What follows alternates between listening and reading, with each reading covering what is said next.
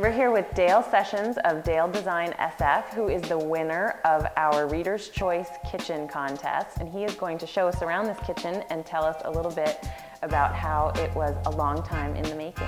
Originally, the homeowners were kind of after just a simple update, where we were just going to do a facade kind of makeover on the cabinetry and kind of keep the same layout that they had.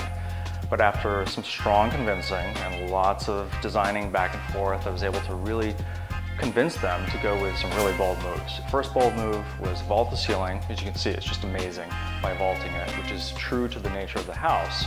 In addition to that, we just expanded the opening. It used to be a three foot opening into the space, and we took away what used to be a wet bar area um, and opened it up to the dining room, so it's now kind of combined and it's much more open. The other thing that we did was took the end wall, which used to be the sink counter area, had upper cabinets and a small portal window that looked out onto Mount Diablo.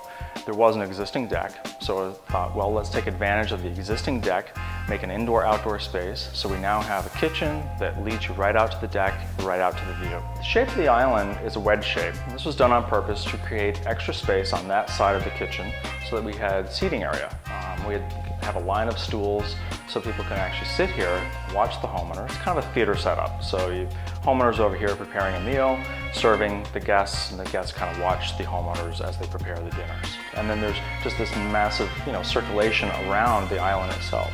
Originally, the homeowners had 70s flat front cabinetry. It was light colored oak. We wanted to really make it bolder, uh, a rich color, so we were thinking chocolate oak would be gorgeous.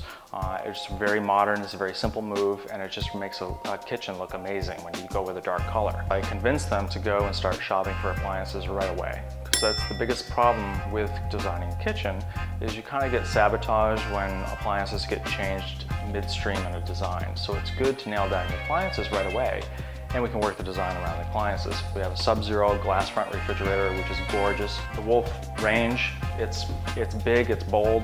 Homer loves to cook. We gave him a really streamlined sink that's real deep, square cut. It doesn't have the, the roundedness like a typical sink does. It's gorgeous.